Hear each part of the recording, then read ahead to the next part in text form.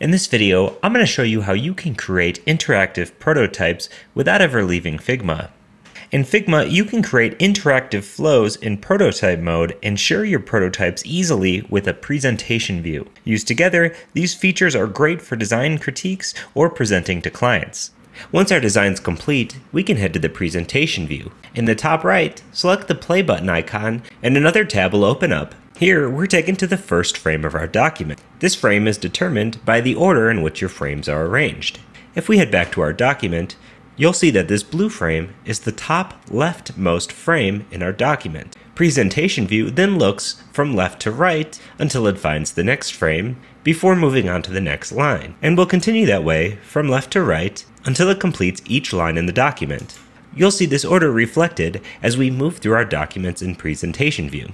Now in Presentation View, we can hit the left and right keys on our keyboard to change which frame we're looking at. This makes it easy to show off our design for both design review and client presentation.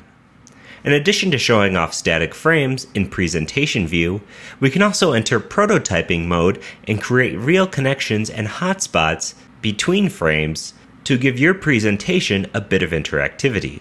To do that, let's head to the top right and select Prototype.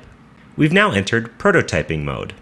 When we select a frame, you can see that we're now given a blue circular node in the middle of our frame. If we click and drag on this node, you'll notice a connection has started to be made. If we drag this connection to another frame, Figma will snap onto that frame, and as we let go, it'll create a connection between those frames. This connection enables a hotspot on this entire frame.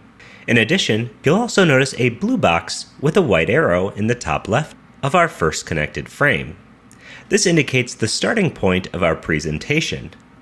You can click and drag and move this arrow to any frame that you would like to indicate a new starting position.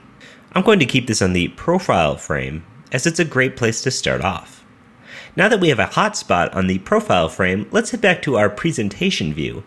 Now you'll notice when we click on this frame, it now takes us to the very frame it's connected to. Now let's take this connection one step further by making a connection on an object rather than a frame. Let's head back to our document and let's remove this connection. We can do so simply by grabbing the arrow and pulling it off of the frame it's connected to. First, let's zoom in a little bit and select this object, Rain Downtown. In the application, this should be a link to an audio sample and should take you to the recording frame. So what we want to do is first select our object. This will give us a node on the object itself. From there, we can click and drag that node onto our recording frame. Now, let's head back to the presentation view and see this connection in action. From here, we can click on our frame once more. However, you'll notice nothing happened except for a blue flash on the rain object. When we select something that's not linked, it's going to indicate what hotspots are available. That way you can see what's clickable and what's not easily at a glance. So let's go ahead and click on the rain downtown. This now takes us to the rain recording. However, the rain recording isn't connected to anything, so we can't go any further than this. Now let's head back to our document. I'm going to select the play button icon and connect it to the next frame.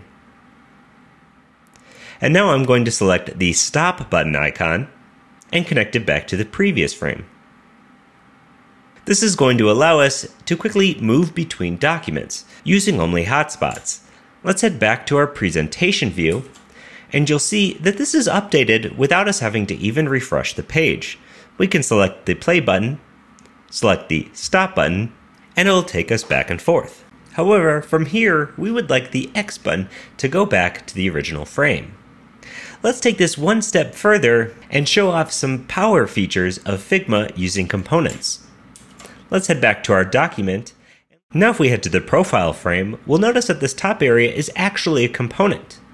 Let's go ahead and move the master component outside of this frame, and then create an instance of this component to show off how we can use components in prototyping mode. Let's drag this up. I'm going to hold option and drag a new copy of this down onto the frame. Now with the component here, we can come into our group, which is the X button. From the node here, I can click and drag and make a connection to the profile frame. This is going to make a connection on every instance of this component. So let's head back to our prototype and see this in action. From here, even though we didn't make a connection between this specific object and the first frame, you'll notice because it's an instance of this component, the hotspot is still going to work as intended. We can click that X, and it's going to take us back to the profile frame. So we can click through our document once more, and you'll notice every instance of that X has that connection already made. In addition to prototyping mode, we also have some features that make presentation view very powerful. For instance, let's say this background color isn't fitting for the design we're trying to show off. Well, if we head back to our document, as long as nothing is selected on our canvas, you'll see that we have the option to now change our prototype background. If we were to make this white and tab back over to our presentation, you'll now see the presentations presented on an all-white background. This way you can easily complement your design with the background of your presentation view. I preferred the gray, so I'm going to change that back. In addition, there's also some great features for sharing and commenting on your design. To get a link to share, we can head to Share Prototype in the top right. From here, we simply just need to click Copy Shareable Link, and the link is now copied to our clipboard. I'm going to open this up as another user who's viewing this design. Here we can see our designs side by side. The one on the right is the link that was shared. You'll notice the new viewer can click between and navigate through the hotspots just as you would. In addition, they can also leave comments on your design.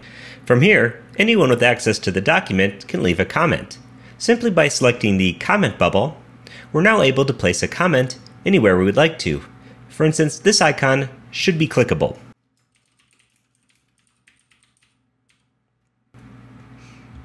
And now, anyone with access can see these comments. In addition to, you can comment on or resolve them. Now, if you'd like to see all of the comments, in addition to the ones that are unresolved, we just have to head up to the eye in the top right, select that, and select Show Resolved Comments. From here, you can see we have a comment that is grayed out.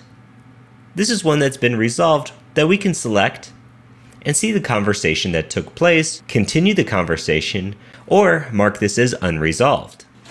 In addition to comments, we also have observation mode. Observation mode makes it extremely simple for someone to lead a presentation and have others follow along. To enter observation mode, as a viewer of this document, we simply just need to select the avatar of the person we would like to observe. By selecting that avatar, you can see that the view between the two documents is now totally in sync. As the leader of the presentation navigates through the document, you not only see their cursor, but you also see their actions. When they select the hotspot and take you to the next frame, everyone sees these actions in real time, making it extremely easy for someone to lead a presentation for many. As you can see, you can give excellent client presentations and design reviews using prototype mode, presentation view, and observation mode in Figma. In this video, I'm going to show you how you can use Figma's developer handoff feature so that you can share your documents with developers and other members of your team and still allow them to see vital pieces of information about your design without making them an editor.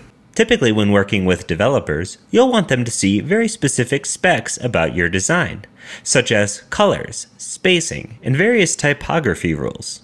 Let's pretend I'm sharing this document with a developer. When I click Share in the top right, I can see that the permissions are such that anyone with the link can view the contents. I can also manually enter the email address of my developer and give them view permissions.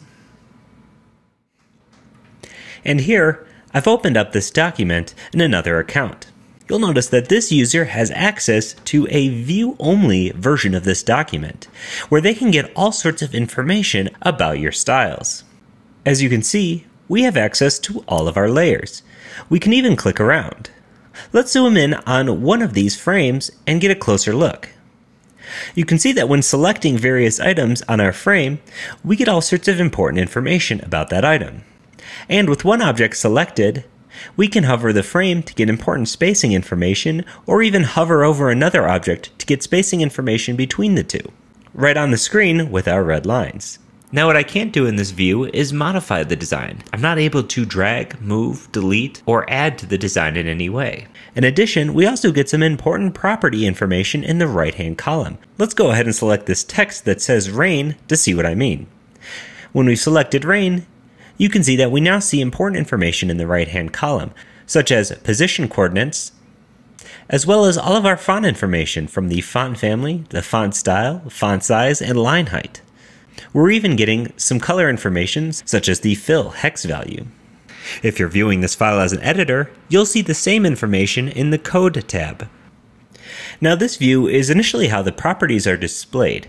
However, let's say we wanted to see some real CSS code. Now all we have to do is come up here to the top right, we can select the brackets with the word code. Upon selecting that, you can see that we have access to real CSS code. Now this code is meant to be used as a reference, so you don't want to necessarily copy and paste directly out of here, but it is a quick way to grab specific properties, such as color, font size, and font family. In addition to real CSS code, we also have access to a couple of other types. If we select this dropdown, we can choose iOS, where we get real Swift code, or select Android, here you can see we have our text view along with a styles.xml. Again, this is meant to be used as a reference but can be a major time saver. Now, in addition to seeing all of our properties, we also have access to exporting. Let's go ahead and export this play button icon. We can select our play button, make sure we have everything selected correctly in our layers, and then come to the right. From here, I can select SVG from the dropdown and click Export Subtract. This is going to export us a real SVG icon that the developer will be able to use directly in their code. And since this is a view-only copy, these exports won't exist if the user reloads their document. As you can see here, after reloading, we no longer have our export. So these export settings are simply temporary. However, any export settings created by an editor will persist. As you can see, with the developer handoff mode, developers have access to a view-only copy of your document where they can get all of the information they need without having to pay for another editor on the team, saving you money and increasing productivity.